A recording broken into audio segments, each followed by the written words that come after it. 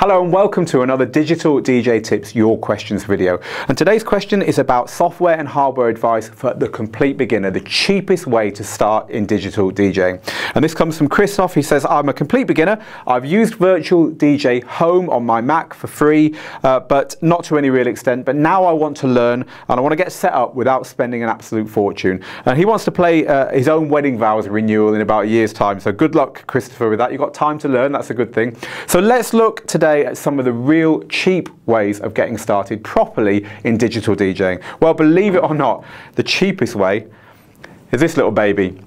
It's just a cable. It's called a DJ splitter cable. It's important to go for DJ splitter cable and not just any old splitter cable like the ones you see on sale in the airport to share your iPod with your girlfriend or whatever. This is a special cable and what it does is turn the output from your laptop into two outputs, two special ones, one for the headphones and one for the speakers. So with this, you can have the headphones that you need to cue the next track in as a DJ. It's one of the most fundamental things of DJing that you can hear something different from your audience.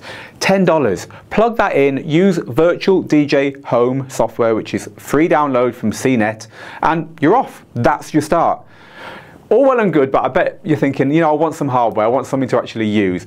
And that would be the next step. But luckily, it again, doesn't have to cost you very much. So currently, a really good way of starting with Serato, which is a, a great program, is this, the Gemini um, Slate. This is a Slate 2, very simple little controller, under $200. Buy that, you're off. All you need is your laptop and a pair of headphones. It's got the headphones and audio outputs all built in. So really that's all you need. You know, $10, 20 dollars on a cheap pair of headphones. And if you don't already have some, and let's face it, we all do, and you're away.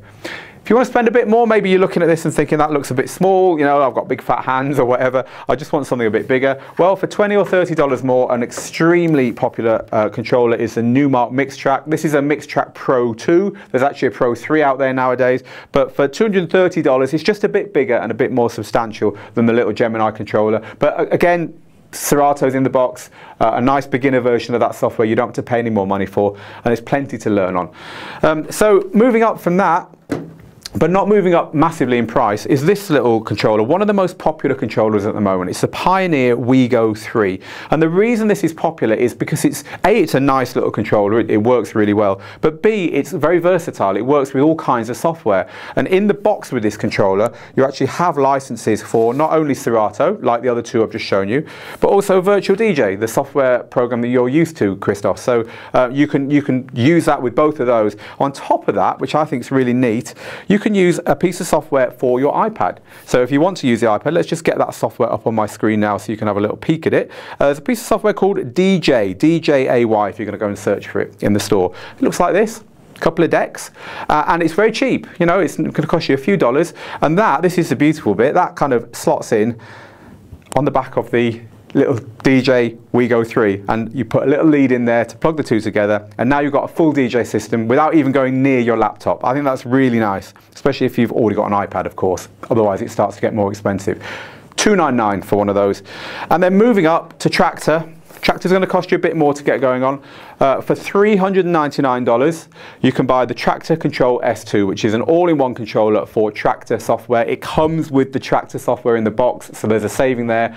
All the other ones come with the intro version of Serato or Virtual DJ where you have to pay a bit more to get the full version. But this comes with the Traktor software in the box, so you're not paying extra to upgrade to a better version of the software later down the line. So for 399, it's a really good way into Traktor. And in fact, for a lot of people, you're never going to want anything more than that, even once you're really good and once you've got accomplished. So hopefully there's some ideas there for getting started. Christoph, you've got a really long time, at least a year before your wedding vows to, to practice. And my last piece of advice is once you've bought your gear and once you've got your software, stop worrying about the gear, stop worrying about the software and do the learning because you can learn the same skills on all of this stuff or just on your laptop using one of these. It ain't about the gear, it's about the music. Hope you've enjoyed this and if you have, please subscribe to this YouTube channel or even better, go off to digitaldjtips.com and join up at the bottom of the page where you can get a free DJ controller guide that tells you all our latest advice on controllers for all software and lots more. So go and download that now.